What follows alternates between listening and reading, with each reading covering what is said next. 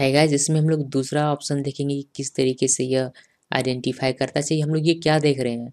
यहाँ आप लोग एक बार मैं आपको पढ़ के सुना देता हूँ, ठीक है?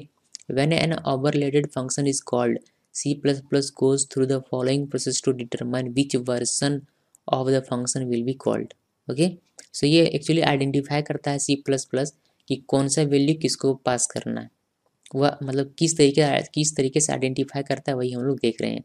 तो पहला पहला तो ये, पहला जो है एग्जैक्ट मैच ये हम लोग देख चुके हैं, दूसरा देखते हैं। सपोज़ कि कभी ऐसा कंपेयर के पास कंडीशन आता है जिसमें कि उसको एग्जैक्ट मैच नहीं मिलता है, तब वह क्या करता है, तब वह उसको मैच करता है, देखिए, लेकिन C plus plus tries to find a match through promotions ठीक है प्रमोशन को फाइंड करता है थ्रू प्रमोशन फाइंड करता है। इसका मतलब क्या हुआ?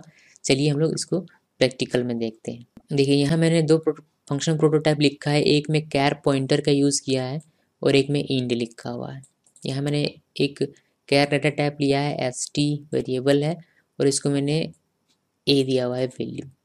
ओके, वैल्यू को मैंने यहाँ कॉल किया है, value function name function name मेरा, इसको मैंने कॉल किया और इस पर मैंने लिखा हुआ है एस टी यानी कि ए। क्लियर है? अब फ़ंक्शन डेफिनेशन देख लेते हैं ज़रा सा। फ़ंक्शन डेफिनेशन इंट एम और एम में जो भी होगा, वह हमें आउटपुट स्क्रीन पर दिखाई देगा। नाउ वैल्यू जो दूसरा हमारा फ़ंक्शन है वैल्यू जो कि कैर पॉइंटर था वह कैर पॉइंटर एक्स और ये पॉइंटर एक्स हमें आउटपुट स्क्रीन पर दिखाई देगा जो भी इस, इसके पास आएगा वो। ओके नाउ जब हम लोग फ़ंक्शन को कॉल कर रहे हैं तो हम लोग सिंपली इसमें पास कर रहे हैं क्या? एस टी एस टी मतलब ए कैरेक्टर को पास कर रहे हैं।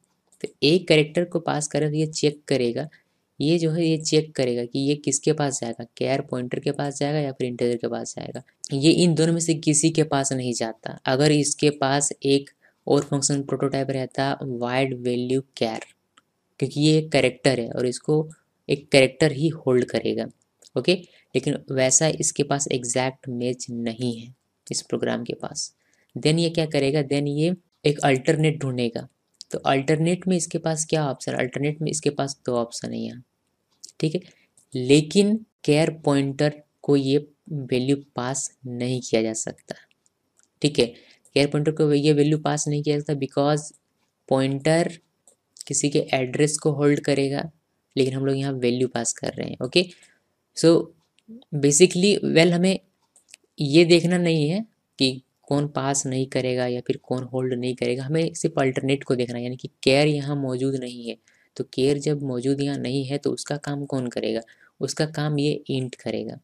ओके सो ये एस टी चला जाएगा इंट के पास। ये केयर का एक अल्टरनेट है। ठीक है? तो जब हम इसको रन करेंगे तो हमें ए तो नहीं मिलेगा आउटपुट स्क्रीन पर, लेकिन इसका वैल्यू मिलेगा। ए का वैल्यू देखिए, हम इसको रन करता हूँ। यहाँ पर दिखाई देगा नाइन्टी सेवन ओके तो इस तरीके से ये रन करता है जब इसको एग्जैक्ट मैच नहीं मिलता। है सो so, ध्यान रहे ये डिमेरिट नहीं एक्चुअली इसके इसका यूज़ भी होता है कई जगहों पर लेकिन अगर आप फ़ंक्शन ओवरलोडिंग कर रहे हैं अपने प्रोग्राम में तो इस बात का ध्यान रखिए कि आप एग्जैक्ट मैच दें। जब आप फ़ंक्शन को ओवरलोड कर रहे हो तब ताकि आपका आउटपुट सही आ सके। अदरवाइज़ आप यहाँ अगर character pass value character pass कर रहे हैं और यहाँ होल्ड करने के लिए करेक्टर आपका फ़ंक्शन प्रोटोटाइप या फ़ंक्शन डेफिनेशन नहीं है तो आपको गलत आउटपुट मिल सकता है। यानी कि आपकी उम्मीद के अनुसार आपको आउटपुट ना मिले। सो इस बात का ख्याल रखना है। Okay then thanks for watching this video